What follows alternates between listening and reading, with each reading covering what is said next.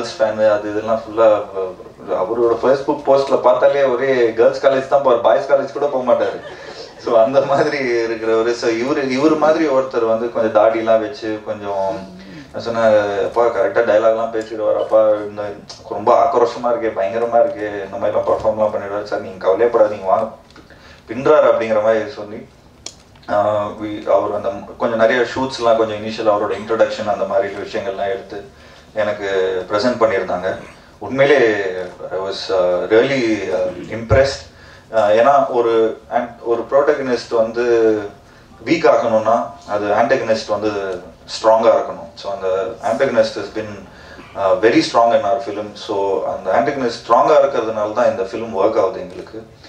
Hero as usual எப்பயும் love பண்ணின்னு சுற்றின்னு சாக்லேட் சாப்பிட்டுன்னு uh, கடலையை போட்டுக்கிட்டு இந்த மாதிரி தான் இருப்பார். ஸோ இதில் இந்த படத்தில் ஒரு வைரஸ்லாம் அவர் கிரியேட் பண்ணுறாரு பாஷா வைரஸ்ன்னு சொல்லி. அந்த பாஷா வைரஸே என்ன பண்ணுன்னா பொண்ணுங்களோட செல்ஃபோன்ஸில் போயிட்டு அவங்களோட டீட்டெயில்ஸ்லாம் கேட்டு இவர் வந்து ஃபுல்லாக அந்த ப்ளே பாய் எல்லாம் பார்ப்பாரு. இதெல்லாம் காலிஸ் பயங்கரமான எக்ஸ்பீரியன்ஸோட பண்ணியிருக்காரு இதெல்லாம். எப்படி பண்ணியிருக்காருன்னு தான் தெரியல. ஸோ இந்த மாதிரி விஷயங்கள்லாம் படத்தில் வரும்போது அந்த கிளைமேக்ஸில் டுவர்ட்ஸ்ல ஒரு டைலாக் பேசும்போது அப்புறம் அந்த பாஷா வைரஸ் அப்படி இதெல்லாம் ரொம்ப பியூட்டிஃபுல்லாக எலிவேட் ஆயிருக்கு படத்துக்கு. Thanks GP thanks a lot and last but not least Vishal பத்தியும் பேசணும். Uh, விஷால் பியூட்டிஃபுல்லா பண்ணியிருக்காரு. Uh, செம்மையா um, uh, அந்த எலிவேஷன்லாம் சூப்பரா கொடுத்துருக்காரு as a music director as an actor எனக்கும் ரொம்ப இதாக கொடுத்துருக்காரு. அனிகா சோட்டியும் நடிச்சிருக்காங்க இந்த படத்துல. அவங்களும் ஒரு முக்கியமான ஒரு கதாபாத்திரம் பண்றாங்க. Um, கிளாமர் ரோலும் சரி அதே மாதிரி ஒரு ப்ரெஸ் ரிப்போர்ட்டராக பண்ணுறாங்க கதைக்கு ரொம்ப ஒரு முக்கியமான ஒரு கேரக்டராக பண்ணியிருக்காங்க.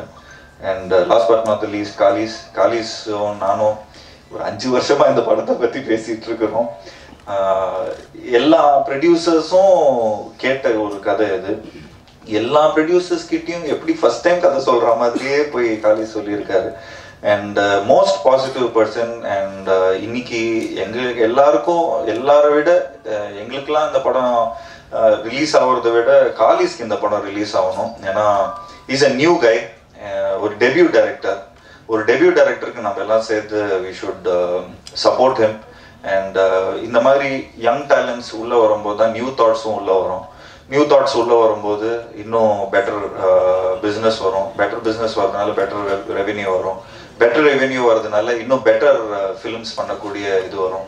பெட்டர் ஃபிலிம்ஸ் பண்ணும்போது இன்னும் நிறைய ஜாப் ஆப்பர்ச்சுனிட்டிஸ் வரும். நிறைய டேலண்ட்ஸ் எங்களை மாதிரி டேலண்ட்ஸும் வெளியே வரும். So it's a loop of work அந்த லூப் ஆஃப் ஒர்க்கை வந்து ஃபஸ்ட்டு புள்ளியார் சொல்லி போடுற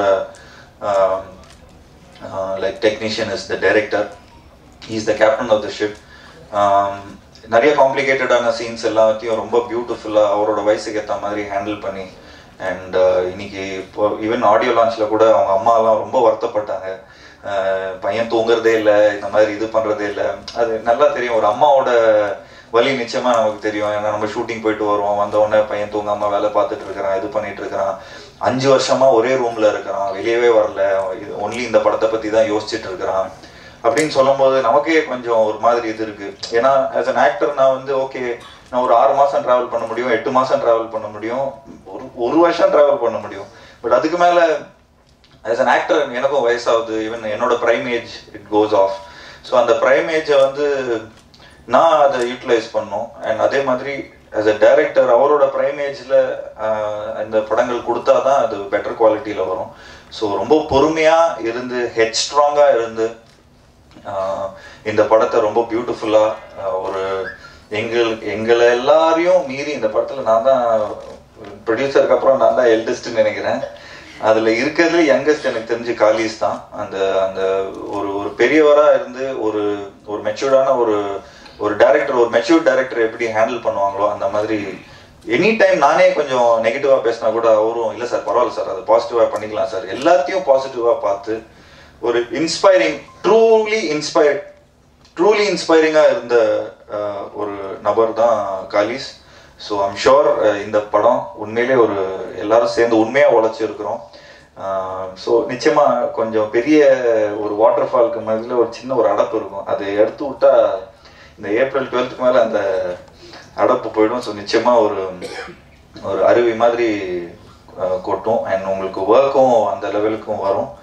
And please look out for Kalees is a very talented person talented director not only for his passions also for his sensibility towards cinema and இந்த மாதிரி பேஷனட்டாக இருக்கிறவங்கள நம்ம நிச்சயமாக சப்போர்ட் பண்ணோம். So thank you so much and நான் யாரையும் விட்டேனா? வேறு எதுவும் இல்லை. எல்லாரையும் பற்றி சொன்னேன் ஆ ஆர்ஜே பாலாஜி பற்றி சொல்லணும். ஆர்ஜே பாலாஜி இந்த கதையை கேட்ட உடனே அவரு ஒரு நாலு கேரக்டர் கிட்ட பேசுறாரு. அதாவது அவரு ரோல் தவிர்த்து அது இல்லாம நான் இந்த ஹீரோயின் கிட்ட பேசிட்டேன் அந்த ஹீரோயின் கிட்ட பேசிட்டா நான் வந்து இந்த மலையாளம் ரோலை வந்து நான் தெலுங்கு தெலுங்குல இருந்து ஒருத்தர் கிட்ட நான் பேசுறேன். ஸோ அவர் ஒரு இன்வால்மெண்ட்டோட நிறைய விஷயங்கள் பண்ணியிருந்தாரு. பட் அதுக்கப்புறம் கவலை வேண்டாம்க்கு அப்புறம் அந்த படம் பண்ணோம். ஒரு எந்தோட பியூட்டிஃபுல்லா பண்ணி ஆனா அது இதுலயும் ஒரு ரெண்டு மூணு கெட்டப்ல வருவார். வேற வேற படங்கள் எல்லாம் போயிட்டு.